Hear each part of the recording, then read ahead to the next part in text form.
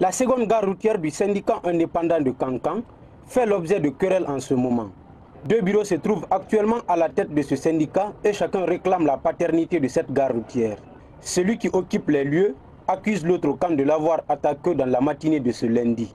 Ici aujourd'hui, euh, à 6 heures quelques minutes, on a été attaqué par euh, une pick-up de la gendarmerie qui demandait que nous devons quitter euh, les lieux.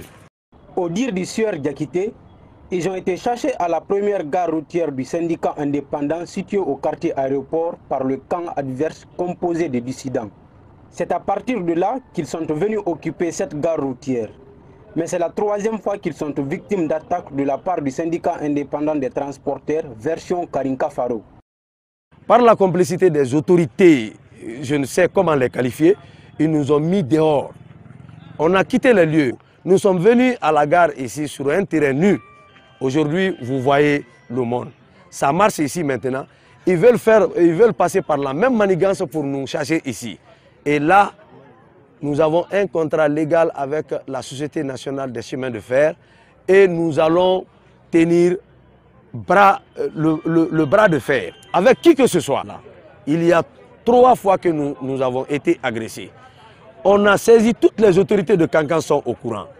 Mais ils ne disent rien. Ils attendent qu'il y ait un cas de mort pour agir légalement. Parce que qui peut voir ce monde aujourd'hui? C'est ce monde qui était dans la cour.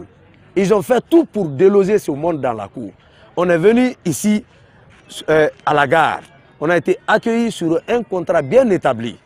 La version Karinka Faro de ces syndicats à Cancan balaie d'un revers de la main les accusations portées contre elle. Aucun de nos éléments qui est parti là-bas, aucun. L'affaire là, ça se déroule, nous sommes dans les 8 à, 8 à 9 mois, nous sommes, tout est dans la main des, des, autorités compétentes, la justice. Nous, avons fait le premier pas, nous avons eu la victoire. Deuxième pas, c'est fini, ont, on, on, le papier est sorti, le décret est sorti, tous les dossiers ont été cachetés que chez nous. Mais c'est l'autorité qui est partie ce matin voir le terrain mais c'est l'autorité qui va nous donner le terrain parce que nous avons eu la victoire. Donc aucun de nos éléments qui est parti. C'est au mois de septembre 2019 que certains éléments considérés comme des dissidents du syndicat indépendant des transporteurs de Cancan ont créé leur propre bureau avant de chasser le camp d'Amadou Guiguiné dans leurs locaux.